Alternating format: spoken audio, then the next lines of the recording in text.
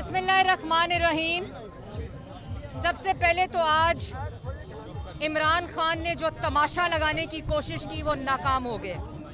ये F I ए का दफ्तर, इसकी जो मेन ब्रांच है, जो इसका हेड ऑफ़िस है, वो इमरान खान का दफ्तर है। तीन साल नैब का दफ्तर वज़ीर आज़म हाउस में खुला रहा।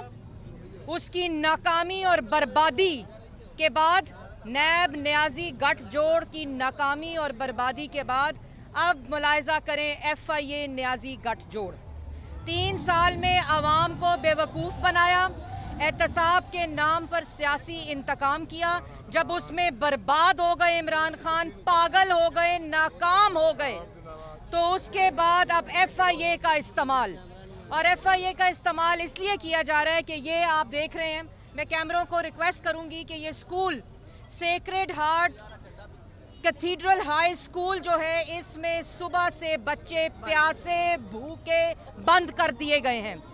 इस वक्त यहाँ यहाँ बच्चे जो सेक्रेड हार्ट कैथीड्रल स्कूल है, जो एफआईए के दफ्तर के साथ है, उसमें ना पानी है, ना किसी किस्म की सहूलत है, और वहाँ बच्चों को बंद कर दिया जा रहा है, क्योंकि इमरान साहब के हुक्म के ऊपर एफ़ आशा लगाया गया है और एफ़ आई ए के दफ्तर में इमरान खान साहब ने एक टीम बनाई थी। क्योंकि नालायक ना अहल, चोर, झूठा करप टोला, जिसने इमरान खान के दस्तखत की वजह से अवाम की साढ़े चार सौ अरब की चीनी खा ली। इमरान खान के दस्तखत की वजह से चीनी एक्सपोर्ट हुई, महँगे दामों इंपोर्ट हुई और उसके बाद सब्सिडी दी। उसके बाद पाकिस्तान की आवाम ने 120 रुपए किलो चीनी खरीदी।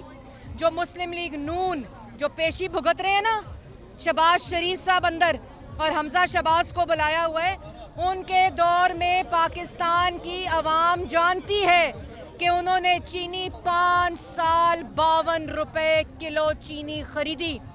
और जिनको एन रो दिया इमरान खान ने, क्योंकि पंजाब का बजट पास नहीं हो रहा था, जिसकी हकूमत एक जहाज़ और लोटों की महरूने मिन्नत हो, जो बजट पास करने के लिए उन लोटों की ज़रूरत, चीनी माफिया की ज़रूरत, आटा माफिया की ज़रूरत, गैस और बिजली माफिया और काटल्स की ज़रूरत जिसको पड़ती है, वो आवाम को रिलीफ देगा।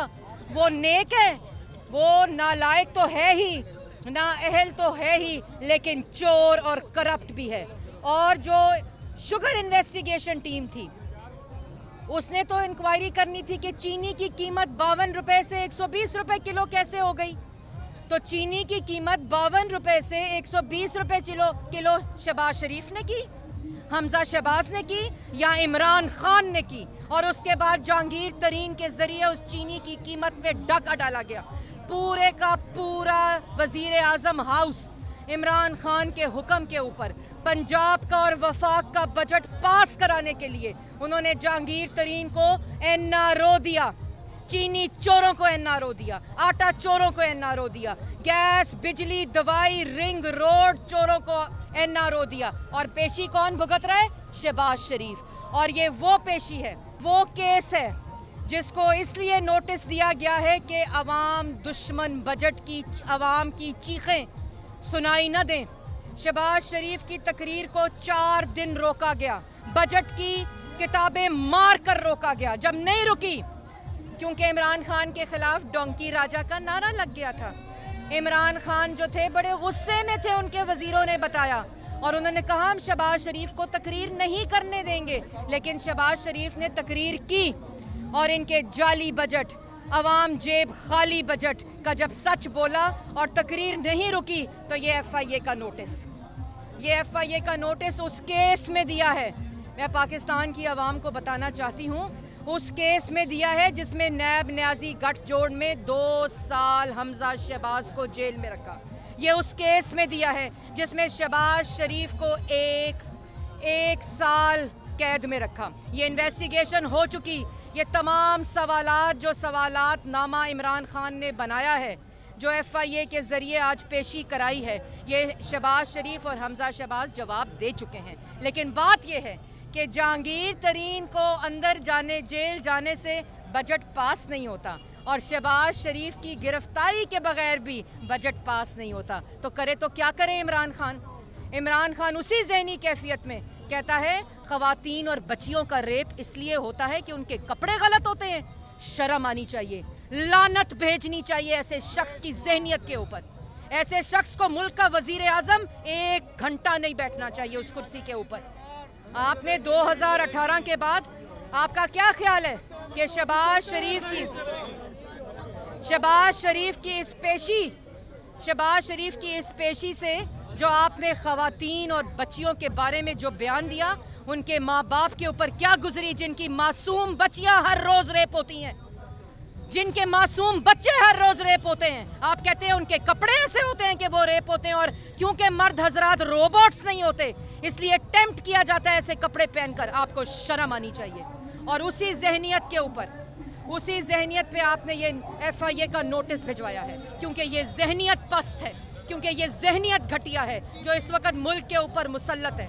आप आटा, चीनी, बिजली, गैस, दवाई, रिंग रोड, हर वो मंसूबा जो शबाज शरीफ और नवाज़ शरीफ ने शुरू किया, हर वो मंसूबा जो नवाज़ शरीफ की तख्ती लगा मंसूबा है, हर वो मंसूबा जिसने पंजाब के लोगों को रिलीफ दी के ऊपर तख्ती लगाता है। और जिस पर तख्ती नहीं लगी, तीन साल जो मंसूबे बंद हैं, जो शुरू नहीं हुए, उसमें उगराई करता है।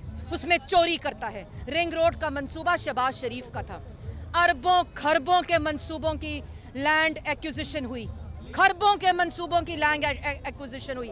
एक धेले का इल्ज़ाम नहीं लग सका। यहाँ यहाँ रिंग रोड खुला और रिंग मास्टर इमरान खान ने शबाज शरीफ को नोटिस भेजा। यहाँ अवाम दुश्मन झूठा बजट, झूठी तकरीर वज़ीर ख़जाना की। हर सफ़े के ऊपर झूठ लिखा तकरीर, शबाज शरीफ ने कहा। शबाज शरीफ का ये कसूर है और जिसने सब्सिडी नहीं दी, जिस जो चीनी माफिया के जाल में नहीं आया, उनके प्रेशर में नहीं आया, जिसने सब्सिडी नहीं दी, सिंध हाई कोर्ट के फैसले के बावजूद सब्सिडी नहीं दी, वो पेशियाँ भुगते, जो चोरी करे, जो डाका डाले, इमरान खान के हुक्म पे उसको एनआरओ देते हो, तुम्हें शर्म आनी चाहिए। पाकिस्तान की आवाम ये सब जानती है कि तुम्हारी साजिश, तुम्हारी घटिया सोच अब ये सियासी इंतकाम नहीं है, अब ये पाकिस्तान की आवाम के साथ इंतकाम है। अब ये सियासी इंतकाम नहीं है, अब जो झूठी तकरीर बजट की करके जिस तरह आवाम के ऊपर टैक्स का बोझ लादा गया, पेट्रोल महँगा किया, गैस महँगी की, बिजली महँगी की, चीनी महँगी की, आटा महँगा किया, बच्चों का दूध महँगा किया, और उसके ऊपर कसूर किसका है? शबाज शरीफ का। शबाज शरीफ का कसूर ये है कि शबाज शरीफ आवाम जानती है कि शबाज शरीफ पाकिस्तान की आवाम को रिलीफ दे सकता है।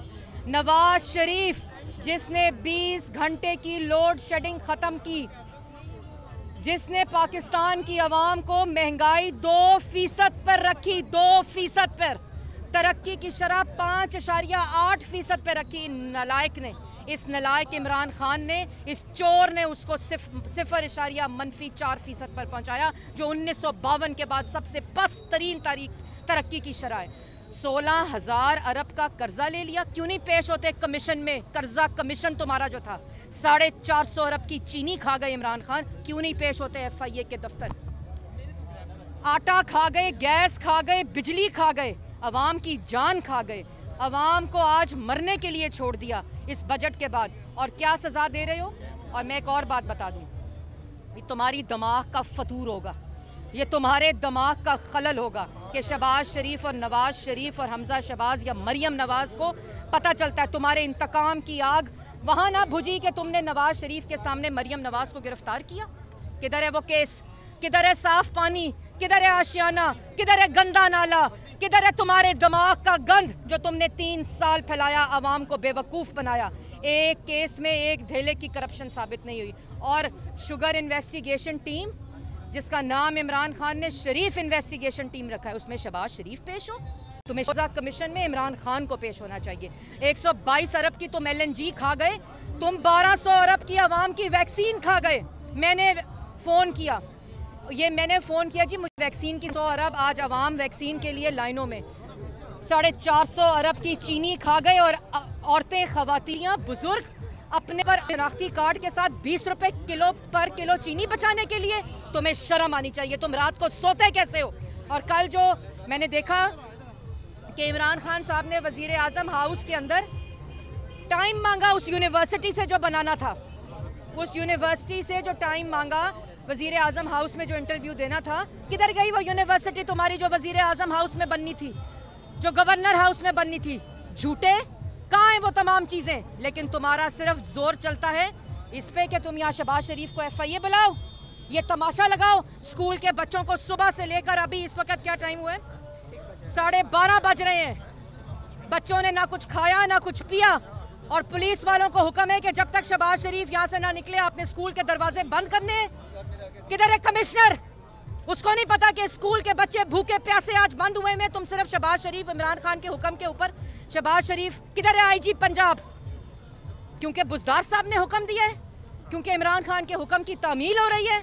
ये स्कूल फौरी तौर पर खोला जाए, यहाँ बच्चे सुबह से भूखे और प्यासे बैठे हैं, वालदेन यहाँ खड़े हैं। वालदेन यहाँ खड़े हैं कि उनके बच्चों को बाहर नहीं आने दिया जा रहा। बच्चे अंदर बेहोश हो रहे हैं, लेकिन कोई खबर नहीं, क्योंकि इमरान खान साहब का हुक्म है।